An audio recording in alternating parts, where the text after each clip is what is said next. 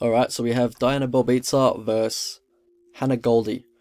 So Belbita, she has a 3 inch height advantage and a 7.5 inch reach advantage, which is quite significant. You know, that's that's quite uh, it's quite a lot. It's quite significant for this weight class.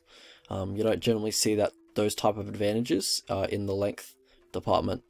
Alright, so we'll break down the strike into these two. So break down Goldy first. So, you know, quite easy to break down in my opinion. So she's generally fighting off the back foot.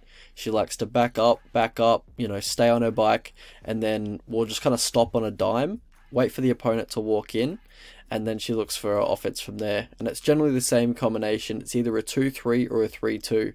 Uh, sometimes she'll just throw the, the check left hook, uh, but that's generally what she's looking for when her opponent's a closer distance.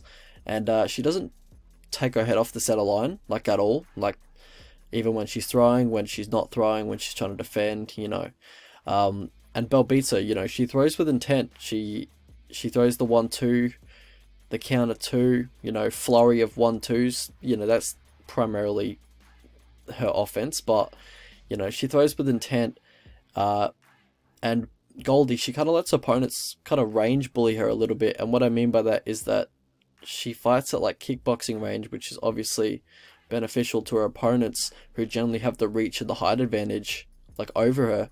Um, she likes to kind of skirt around the octagon, uh, throw that lead leg inside low kick, you know, kind of telegraphs her side kicks as well when she's trying to throw those. You know, she's heavy on the back leg.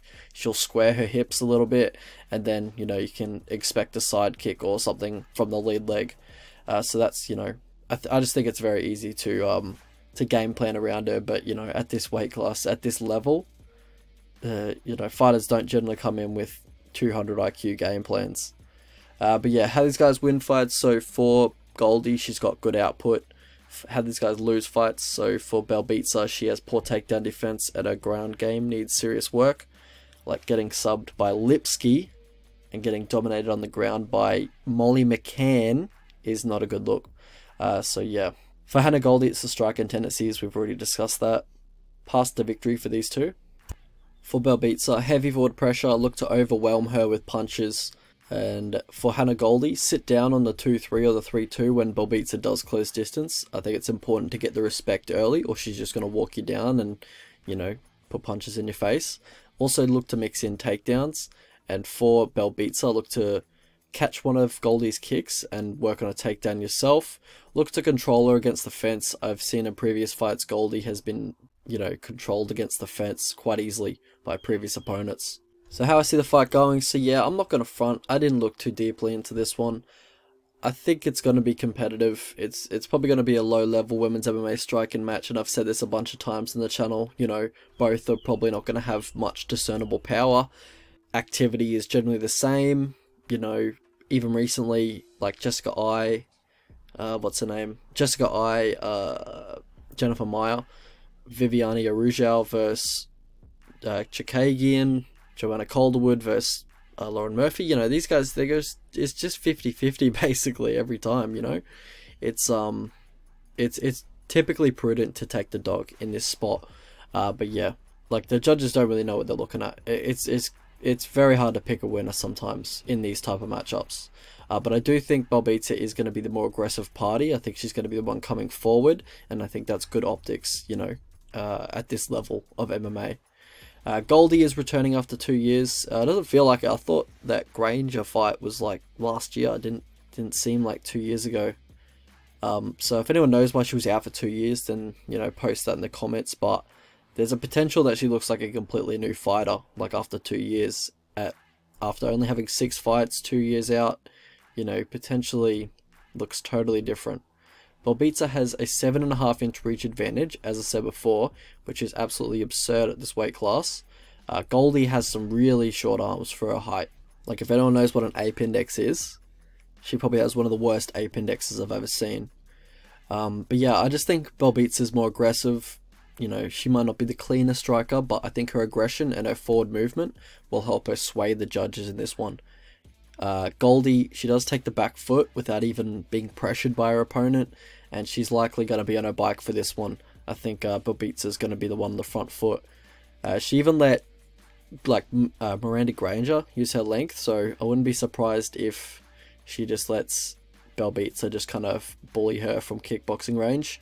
Like, if your arms are that short and you're undersized for the division, you gotta go forward and you gotta get in the pocket. You can't be on your bike and you can't be fighting at kickboxing range. It's just not, it's just not the game plan.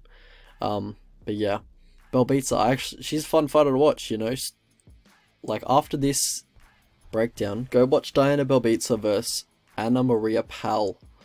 Like, that was one of my favorite fights I've ever watched on tape. and like Anna Maria, she was swinging, she was swinging hooks, doing 180s and shit, like after swinging so hard.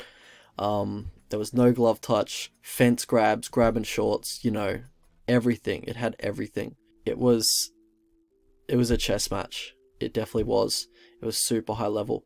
Um, but yeah, that was one of the favorite fights I've ever watched, you know, doing tape. Uh, someone let me know if, if Goldy's ever gone for takedowns because I've only ever watched her UFC Dana White's Contender Series fights. I, I didn't want to watch her, you know, pre UFC fights. I, I, just wasn't interested in it.